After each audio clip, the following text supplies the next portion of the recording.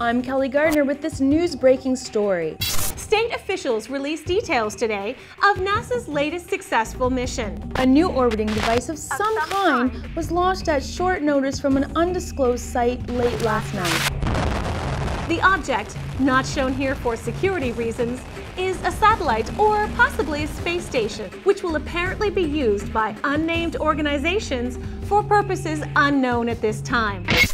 This is a proud day for a particular scientific or strategic aspect of your nation's undisclosed policies.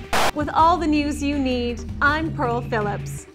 Today's broadcast was brought to you by Tang. Tang! It tastes!